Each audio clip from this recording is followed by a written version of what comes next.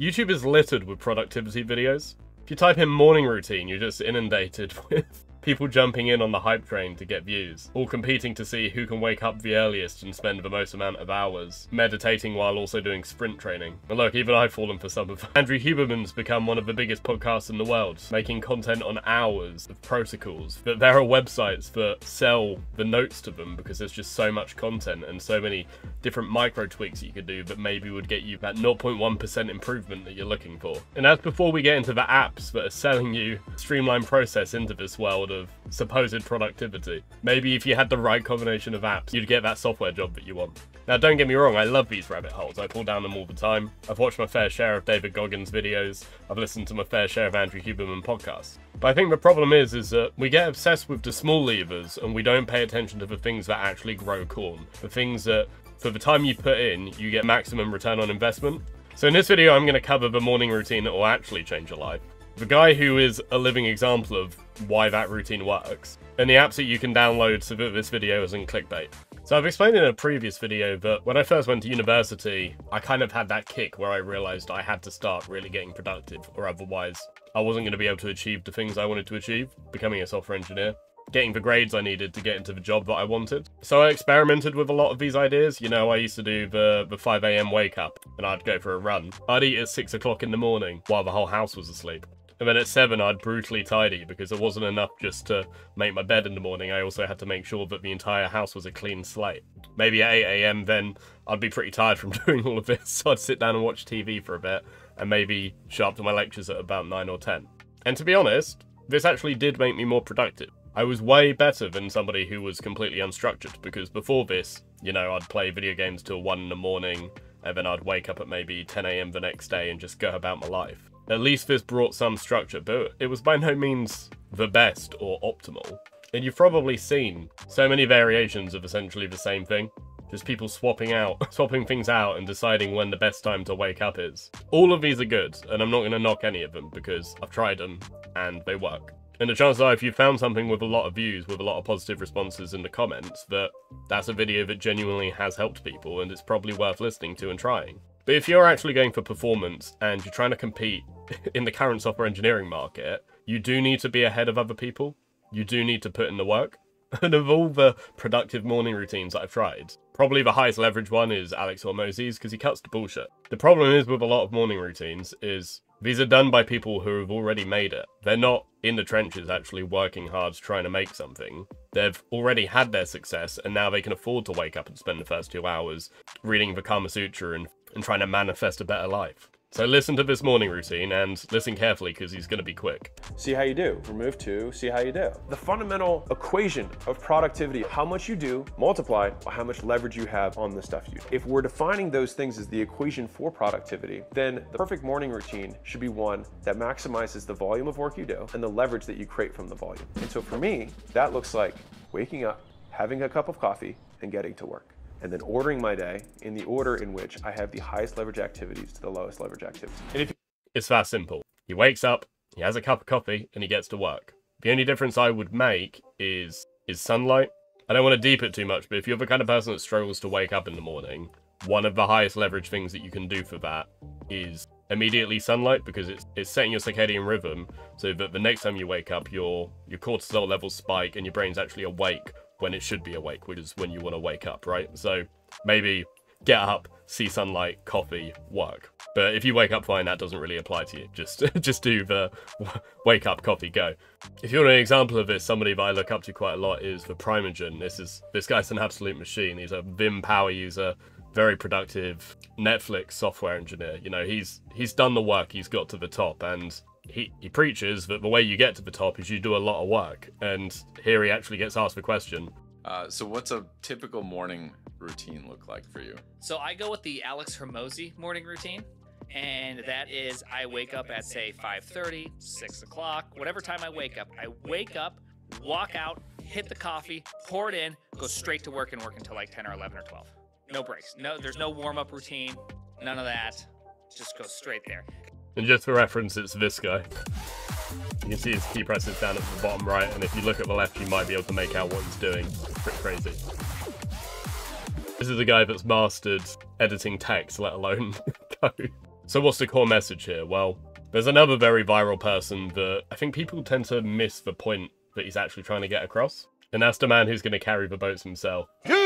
Who's gonna carry the boats and the logs? That's you, bud. So if you don't know who this is, it's David Goggins. He's become exponentially famous for being the guy that does things that seem impossible. He had the world record for pull-ups. This guy would show up to relay ultramarathons, which I've failed to run an ultramarathon, and it is hard. He shows up to them where you're running 50 to 100 kilometers, and then you tag in a friend, and then they run 50 to 100 kilometers, and then another friend does it, and it's five people in a row, right? And at the end of it, you completed, say, 500 kilometers. This guy showed up with no team and did it by himself. And what you'll notice about this guy is he's been on maybe four, four or five podcasts in total. And look, five years ago. So he went on a couple five years ago, and then I think he did a couple more recently. And you'd think, okay, this is the guy that that understands how to be productive, right? Because you don't do the club world record and you don't run 500 kilometers without being extremely dedicated and hardworking, without putting in the work every single day. So what's his morning routine? What's his secret? What what what productivity apps does he have on his on his iPhone iPhone 13 Pro Max. That's not even the latest one, is it? His iPhone, his iPhone 15 Pro Max. Well, from the theme of this video, I hope you, you've already worked that out. He doesn't have one. He just does the work. He gets up, he works on what he's working towards, and then he goes to sleep. Now, I wouldn't recommend David Goggins as the way to live your life because there's more to life than just working from when you wake up till when you go to bed, obviously. But the point is, is that do you think you're doing a below average amount of work, an average amount of work, or an above average when you're competing with people who may be working 10, 11 hours a day. Especially if you're at the beginning of your career, maybe you, sh you should be sacking up a fair amount of your personal time because you're, you're competing. And if you don't do it, somebody else is going to take that place, work harder than you, and get more results. And the people getting results aren't wasting the first three hours of their day, they're getting straight to it. The biggest thing that helped me progress towards my ultramarathon wasn't how many minutes I'd meditated that month, and it wasn't how many cold showers I'd had. It was how many hours a week was I clocking running. That was the biggest effector. Sure, the cold showers were helping with recovery, but definitely wasn't the main thing pushing the thing. And the same is true of software engineering. The main thing that got me good at software engineering was working from 9 to 5, and then in my first couple of years, when I didn't know what I was doing because I didn't have a background in tech, I was learning from when I got into when I went to bed. I don't do that now.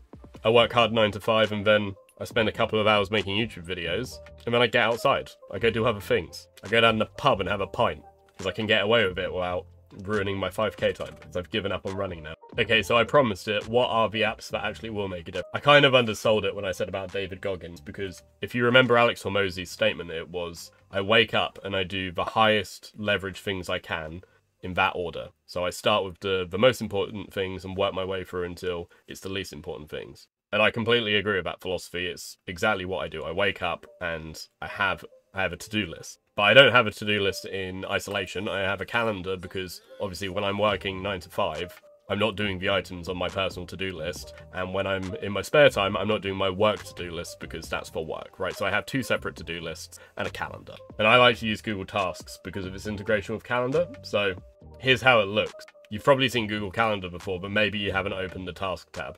So I have both the apps on my phone. I have the Google Calendar app and I have the Task app. So I get the notifications when they come. And I'll write on my phone and also I'll write on the calendar view like this. I never have it set to month. I only have it set to day. So I can only see what I'm doing today. Because there's no point worrying about what's tomorrow. Let's just get as much done today as we can. So every time I have things to do, I just add a task. And at the beginning of the day, when there's no tasks on my on my day list, I just drag them in because you'll have this un unscheduled list, right? And you can click and drag into your day and it will schedule it and then it will order this list by what comes first. And you just start ticking boxes. It's that simple.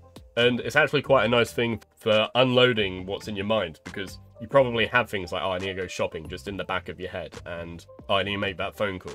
Instead of holding these things in your head, just type them into your task list and then you know at some point, say tomorrow, you're going to schedule things and you're going to go through that list and you're going to think, right, what are the highest leverage things that I need to get done now? And at some point, you're going to get around to that task that needs doing. If there's no food in the fridge, the highest leverage thing that you can do is probably go is probably go shopping and it's going to end up being scheduled in the day when you can get to it. And that's it.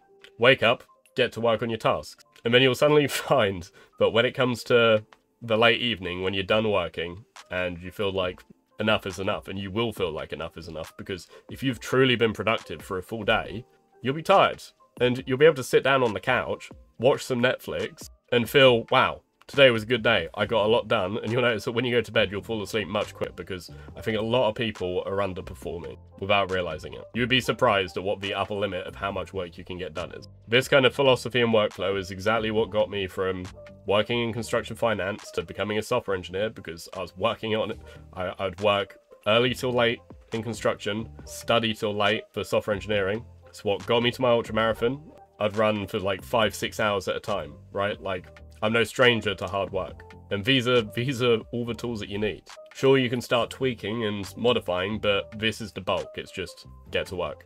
So you might be wondering, okay, well, I've got into a pretty good system of just sitting down and getting to work. How can I get more out of each hour that I put in? Well, I actually made a video about efficiency as a software engineer and the tools that I use to be more efficient with the time that I put in. If you're working eight, nine, ten hours a day coding, then you want every hour to get to be as valuable as possible, right? So if you click this video here, I'll show you how I got into things like Vim and, and workflow optimization. I hope that video helps. Cheers.